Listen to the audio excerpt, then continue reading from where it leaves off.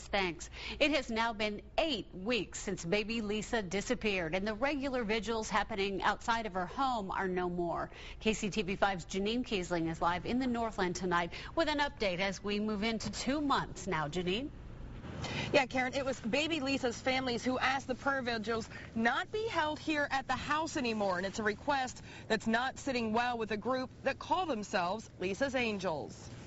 Show us the direction of where baby Lisa may be. Vigils at baby Lisa's home have been almost a daily occurrence since she disappeared from here eight weeks ago. No, they don't want us here.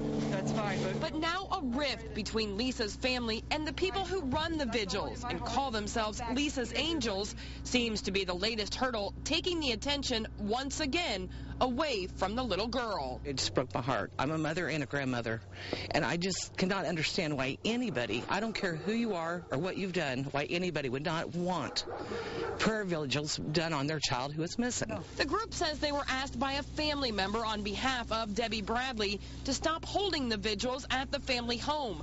Rick Irwin, Lisa's grandfather, says it's not that they don't appreciate the prayers, it's just simply too much for the family now that they have returned home. They're trying to get some kind of, if if there is such a thing as, as normalcy anymore, and I don't know what that exactly would be, but uh, uh, having the vigils here uh, is real heart-wrenching for them. But as Lisa's parents left their home tonight with their two boys in the car, things got a little ugly. Wait, that makes it great. Red!